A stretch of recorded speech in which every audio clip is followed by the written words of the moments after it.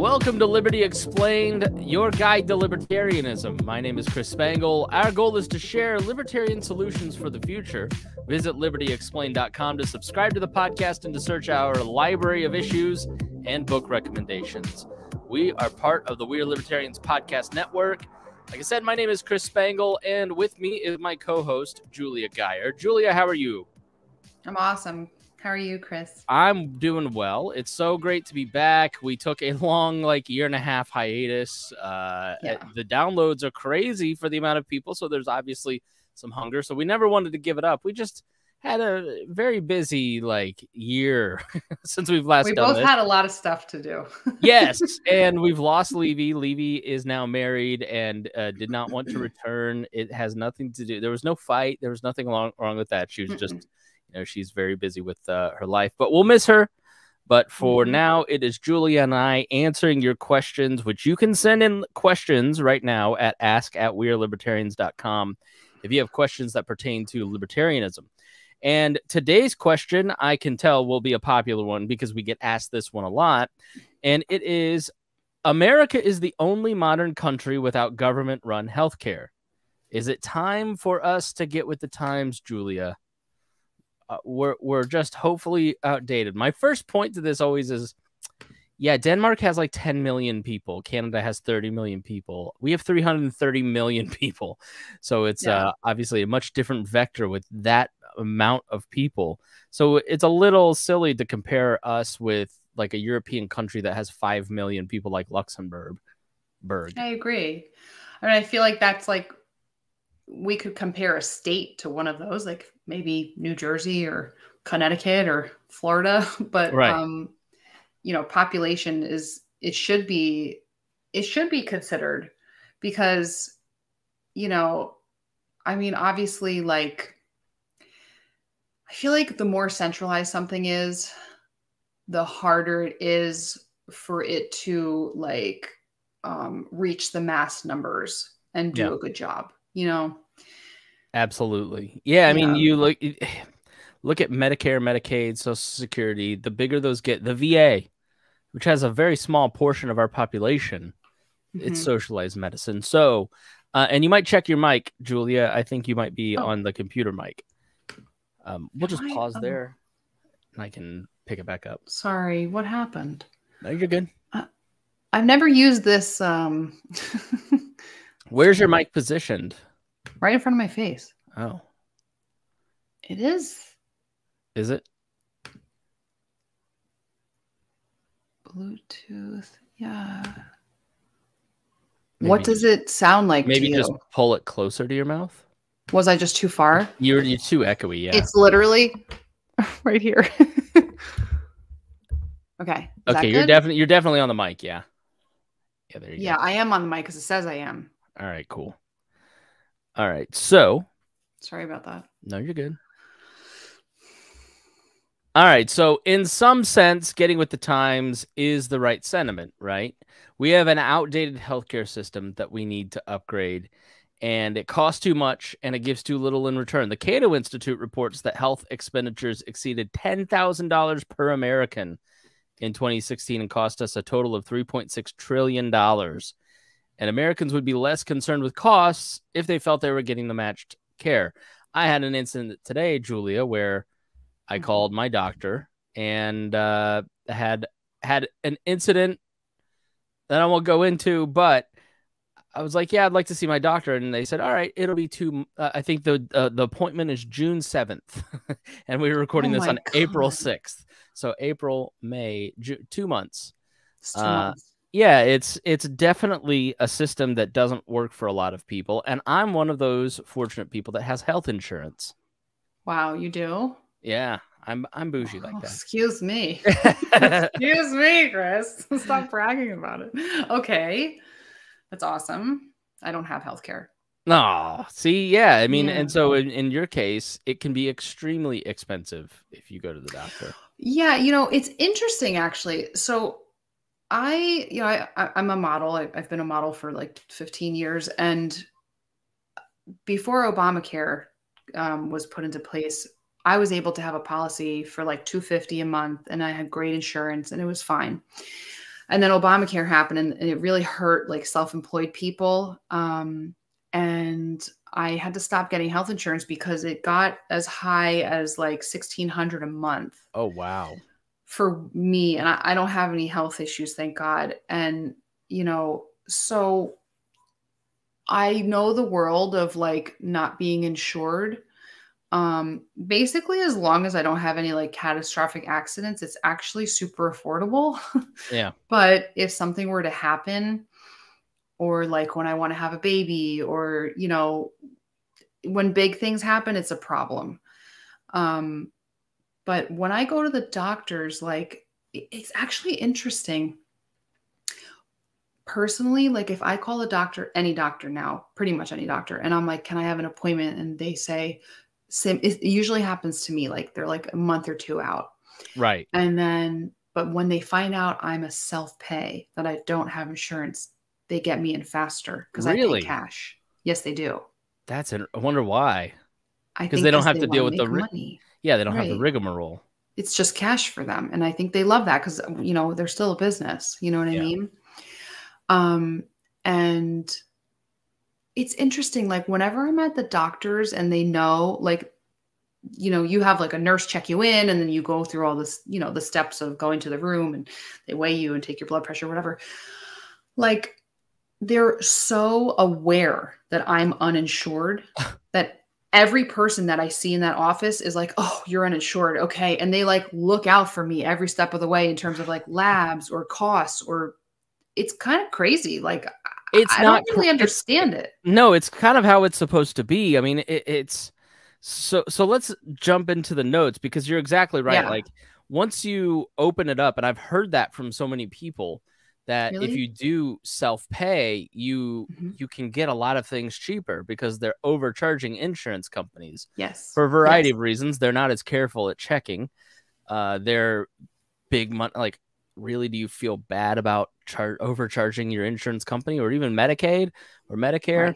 Right. Um, so yeah, they, uh, uh, you know, we've come to expect innovation in an industry that produces falling prices, prices and better service. Think of technology. You have better phones coming out all the time with a newer camera, Mhm. I'd love to see lower prices, Apple, but uh, you're at least giving me some innovation with uh, some of those, you know, better services. Now, why does the medical industry fall behind other industries? Uh, in Liberty Explained, Ron uh, Ron Paul writes regulations, inflation, tax laws, and federal mandates to provide care through corporate run HMOs interfere in providing insurance. Massive subsidies and licensing have all played negative roles in the delivery of medical care in the United States. Ron Paul, obviously a doctor, uh, he goes on to give the example of government mandated cell phones, right? Like I just did. And just a couple of decades, free market innovations took the cell phone from a clunky brick to the smartphone. Imagine if the government had declared a cell phone a right and that every American must have one for national security purposes. To offset the added burden, the government would centrally plan the development and rollout. After two decades, do we expect the federal government to have achieved as much as Apple or Samsung? Would there be an app with thousands of developers and the job that comes along with the growth of a new industry? You know, and another one that is often cited, Julia, is car insurance. It has Mhm. far less intervention in the marketplace from the government than does health insurance. It can be sold across state lines, which greatly increases the consumer base. Instead of being purchased in blocks by employers or governments, millions of individuals evaluate their choices and demand changes. Requirements allow for different types of coverage, which produce lower costs. Home insurance also works this way. And health insurance companies, Julia, just have far more restrictions on their business than car insurance companies or Apple or Samsung. So, you know, what if we extended the metaphor? What if government controlled and paid for car insurance? Then Right. they would then have the right to control the decisions of car owners and mechanics. And that's what's happened in the medical industry. He Yes. who pays decides how you get care. And so you're stuck. I have a great episode on the Chris Spangle show about health insurance that kind of talks about this. I, you know, I called a direct primary care physician today and said, Hey, I'd like to get an appointment because I'm going to switch doctors. Because the doctor I see has to see like 10 patients a day to make his cut and Mm. he's in this like system that grinds doctors out and they have to see 10 20 30 patients you see them for 10 minutes then they have to Wow. refer you to someone in their network whereas a direct primary care physician they opt out of the insurance system you pay them a 100 bucks a month and then they'll do literal house calls they they're they it's a great innovation for doctors that kind of gives them a lot more freedom they can spend two hours with the patient they Yeah. care a lot more and they really just need about 90 patients in their system paying 80 100 dollars a month for them to make their bills Wow, that's great. I mean, I think, you know, what we're talking about today with healthcare is like the the foundation principle is that everything that the government gets involved in really becomes compromised like any industry because you know it's the same thing actually i think something similar is like with like student loans. Like once government started subsidizing student loans college tuitions went through the roof. And you know we see that across the board in every industry. As soon as the government gets involved in an industry it really takes a toll on the industry. It slows it down. It reduces efficiency um, and it it hinders growth across the board. Yeah i mean you talk about the i mean i am i don't know about you. You're very young and vivacious still. I'm an old man but i remember Chris, we're the same age. Oh. I remember how cheap college was when I first went in 2002. You know, it was it was about Was half. cheap? It, it was uh, it was about half. I mean, it wasn't wow they weren't backing student loans yet in the same way. And I remember once that clicked, it's you know, it's when I went back a couple years ago, it was way more expensive. And oh, it's was same- it yeah, it's the same with healthcare costs. Nixon hmm. invites the health insurance companies to come in and write the law that basically it, it- the HMO Act in I think 72 and from there you just see the cost of healthcare astronomically rise yeah because the health insurance companies basically got to use the force of the government, the force of state Yeah. to to help their bottom line. And you know who paid? Us. We did, and it, it's frustrating to hear people requesting like a socialized healthcare system and something that's like you know controlled by the state because the reason they're unhappy with the healthcare system right now is because of the state, but they don't understand that. And then for people to call for more centralization and more state intrusion is just like, eh, I, I it's hard. I think it's hard for us to hear things like that because they don't understand like the the the process of like the breakdown of an industry when the state inserts itself. Yeah, I mean the answer to a freer future is allowing more innovation. We saw a lot of this through Yeah. the pandemic, right? Let's look at where the pandemic succeeded, uh, you know, and, and who succeeded through the pandemic, uh, and who didn't. And you look at uh, ventilator distribution, which ultimately were not needed, uh, but it became political as the president and government tried to fight over where they ought to go. You remember Cuomo and Trump fighting about that. Regulations were rapidly removed to allow innovation. So you had a lot of regulations rolled back uh, in things like vaccine distribution and development. Uh, you you you know I remember the whatever you think of vaccines. Like I remember being told on the news, oh, it'll be five years, and then it was nine months. Um, Yeah. And testing. I mean, think about testing, how that was bottlenecked. There is a great New York Times article, article Yeah. called The Lost Month, where the CDC and the FDA caused thousands, tens of thousands, millions, maybe even of needless deaths because we didn't have the testing that we needed. Because the CDC wanted to control the patenting of the testing. And so it forced private companies to go to Germany and German companies to get the sequencing and added a month. And so when you're talking about Um, how we can get with the times, further centralizing healthcare uh, is not the way to go. The future is based on the empowerment of individuals making choices which spurs innovation. It is not a return to a large, centrally planned economy. And every libertarian believes that human beings should have access to quality healthcare. Julia, we don't disagree in any way that you know, with the goal of like people who No. believe in a single payer system, everybody should have affordable, accessible health care. We just Yes. disagree on the true path to getting there because Yes. what we've been doing has not been working. Yeah, we we want it to be a free market solution. We don't want it to be a state-based solution. That's really the only difference. I mean, we have the same goal, but you know, libertarians, we don't want to rely on the state. We don't want to have the state have control over, especially control over our bodies. Yeah. You know, I mean, healthcare is so personal, obviously, because it's our health, it's our bodies. And, you know, we should have agency over every decision of our body. And when there's something blocking that,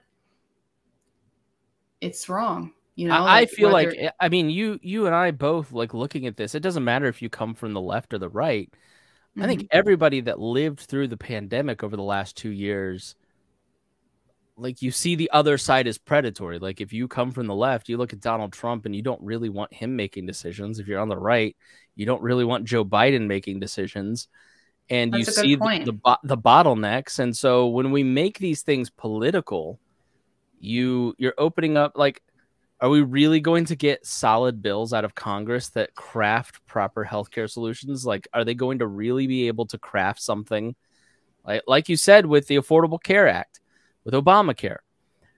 Your, the mandate was always BS. Okay, you you could just not pay it. They'd they'd take it out of. They, they never send you a bill for six hundred dollars. They take it out No, of a refund yeah, if you had a refund, right?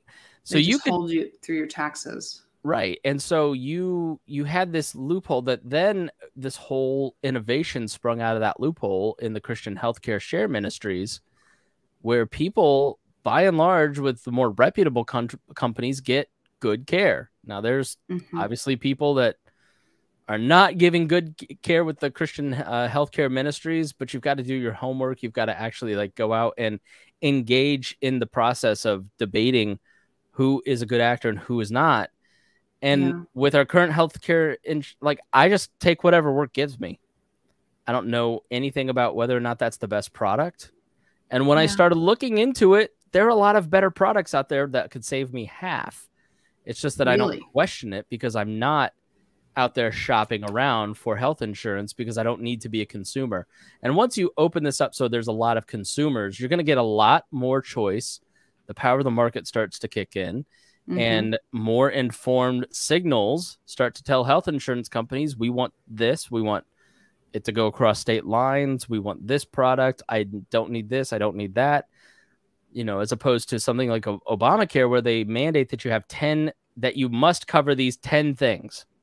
Well i don't personally on my insurance need you know maternity care. You might want that but why should Yeah. i be forced to pay for maternity coverage when you need it and I don't. So it's it's things like that that you know the, the cost is so much more because the government wants to please special interests and mandates that you have to cover certain things. Yes. And it's just like it, this is I feel the same way about this with healthcare as I do about any tax is that the bottom line for me is that anytime I'm anytime my power of voting with my dollar is removed from me, I don't like that system. Right. And our healthcare system is very much like that. And so are obviously taxes are the perfect example of that. Um, it removes our ability to vote with our dollar. And I I just feel like that's something that gets under my skin so much. Well, it's part of why it's so expensive. I mean, the way that market markets work through price signals. And so every Mm-hmm. dollar that you spend, it sends a signal to a company or to somebody that they want something or stop doing something.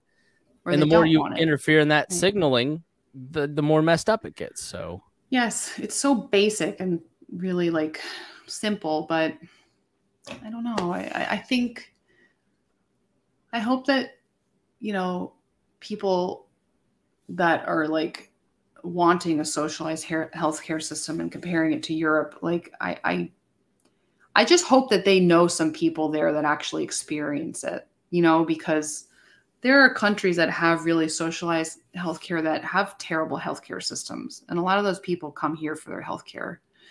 Um, but people don't talk about that much. You know, I know people like that, but and and I've I, I mean, and I've had those conversations of people who have had great experiences with you know their care system, but mm-hmm. at, at the end of the day, our size different makes it, it's a different calculation you know with 320 yeah. 370 million people in this country it, it's uh, do we trust our current leadership to craft something that's going to work um i mean i don't i don't not after the last no, few years for sure uh, yeah well look at covid we uh we will dive more into healthcare. We've got a lot more healthcare questions, and we'd love to have your questions. But Julia, any final thoughts? Um, I think for anyone that's listening, I would just encourage you to like dig underneath, dig below, like what you're what you're supporting like what what are the principles behind this? What are what are you know ask questions about like what's what is this built on? Who's paying for this? What are the costs? Like i think it's just like learning about the details of what it is and like push yourself to like explore a different thought see how the current systems are already operating. Instead of operating on wishful thinking and yeah. what feels right let's look at what right. happens who what what's the actual yeah. experience look at the fraud that comes out of medicare medicaid oh, uh, and that would Such only a waste increase. of money Right. And it's not about greed, it's about the fact that the system collapses because, you know, again, going back to Obamacare, if mm. you are in one of these Affordable Care Act plans, you have to go to one of the providers for CareSource. Well, they limit the amount of money that they pay those doctors. And so, do you think that you get the best doctors working at a hospital that takes CareSource? No, you get the doctor that they can afford uh, as opposed to private plans where you can go and see any doctor within network and with like somebody like Anthem Blue Cross Blue Shield, it's a, it's a pretty wide net. So the people yeah. who are stuck in an ACA plan have limited care. They don't have as good a care as you know somebody with more private insurance with a lot of different choices. Why? Because the public plan essentially that is mandated again that list of 10 things well, you you uh you have limited choice because of cost controls. So uh, I, I hope this helps. I hope that uh, you got something out of it. If you did, please share it with your friends. We appreciate you so much. We'd love to hear your questions that you might have. So please email us at ask at wearelibertarians.com. If you enjoyed the conversation, then please review us on Apple Podcasts. We will see you again. We're going to start releasing these on the 1st and 15th of every month. Uh, so yep. Julie and I will be here twice a month with you answering your questions. So stay yep. tuned. Thank you for joining us here on Liberty Explained.